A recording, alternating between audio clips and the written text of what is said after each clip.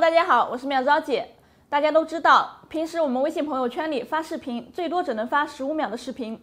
那么今天妙招姐就来教大家一个小妙招，不管你的视频是一分钟、两分钟还是五分钟，都可以发到朋友圈里。方法非常的简单。首先，我们点击微信右下角的我，再点击收藏，然后点击右上角的加号。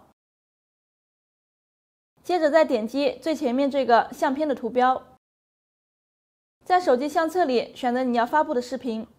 大家看到这个视频是两分二十一秒的，我们选择它，然后点击完成。接着在视频的上方输入视频的标题，比如妙招姐的视频。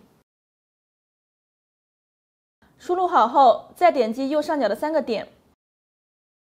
在这里可以选择直接发送给朋友，也可以选择分享到朋友圈。我们点击发表。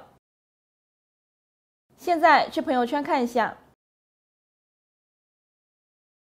大家看一下，这个就是我们刚刚发表成功的视频。我们点开它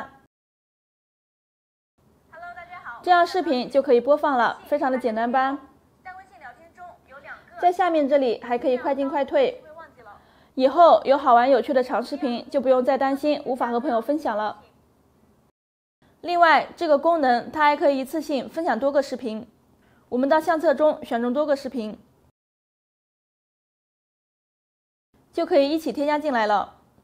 那么，它除了可以添加视频，还可以添加图片和语音，文字也可以任意编辑。我们可以将它编辑成日记文章的形式分享出去。非常适合用来叙述一些事情或故事。最后，妙招姐再教大家一个微信拼接长图的技巧。同样的，我们还是点开最前面的图标，然后选择要拼接的图片。每张图片之间还可以加入文字。编辑好后，再点击右上角的三个点，然后点击保存为图片。这样长图就会自动保存到我们的手机相册中了，我们可以用它来发朋友圈和发送给朋友，是不是既简单又好玩呢？怎么样？今天这几个微信使用的小技巧你学会了吗？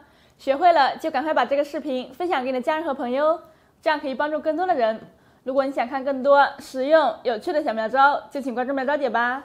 还有记得在下方点赞留言哦。我们下期再见，拜拜。